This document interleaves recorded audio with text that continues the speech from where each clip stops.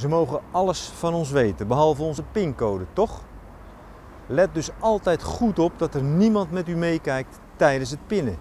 En als dat toch gebeurt, ja, dan hebben de mensen die uit zijn op uw geld alleen uw pinpas nog maar nodig. En dat is precies wat een oudere man overkomt die hier in winkelcentrum De Rozelaar in Roosendaal zijn boodschappen gaat doen. Het is maandag 5 maart, net voor drie uur middags. De oudere man, die niet meer zo goed ter been is, wil eerst geld pinnen. Hij laat zijn rollator in het gangpad staan en loopt naar de geldautomaat, die net buiten beeld staat. Als de man begint met pinnen, verschijnt deze vrouw ten tonele.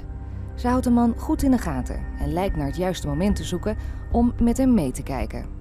Uiteindelijk grijpt ze haar kans en sluipt achter de man aan naar de geldautomaat. Buiten beeld dus.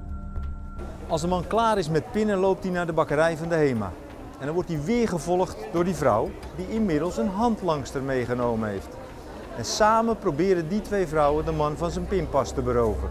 Als de man de koeken die hij heeft gekocht wil gaan afrekenen, wordt hij omringd door twee vrouwen. Rechts van hem, links voor ons, staat de vrouw die hem in de gaten hield bij het pinnen. Aan de andere kant staat een tweede vrouw. Zij vraagt de man of hij voor haar een pak koeken uit een mandje bij de kassa wil pakken. Als hij bukt, pakt ze vliegensvlug zijn pinpasje uit zijn portemonnee. Ze maakt zich daarna direct uit de voeten. Ook de andere vrouw vertrekt. De oudere man blijft verbijsterd achter. De vrouwen verlaten het winkelcentrum De Rozelaar om een paar minuten over drie. En ze lopen dan gelijk in de richting van de pinautomaat aan de Laan van Limburg. Daar halen ze meteen een aanzienlijk bedrag van zijn rekening. De twee vrouwen. Verdachte 1, de vrouw die de pincode wist te bemachtigen, is jong en heeft een licht getinte huidskleur.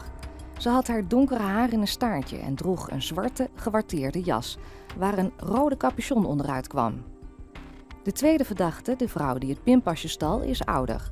Ze had haar donkere haar opgestoken en droeg een lange, donkere jas. Om haar linker enkel droeg ze een enkelbandje. Bij de twee vrouwen hoort waarschijnlijk ook deze man. Hij kwam maandagmiddag 5 maart om drie uur samen met de tweede vrouw, die uiteindelijk het pinpasje zou stelen, het winkelcentrum binnen. De eerste vrouw hield op dat moment de oudere man in de gaten. Het is een soepel opererend team dat mensen in de gaten houdt tijdens het pinnen en daarna probeert de pinpas van die mensen te stelen. Geef dit soort zakkenrollers geen kans. Let dus goed op als u gaat pinnen. Scherm de hand waarmee je de pincode intoetst goed af. Zorg ervoor dat je de pincode uit je hoofd kent. En als laatste, berg na gebruik de pinpas op een goede plek weg.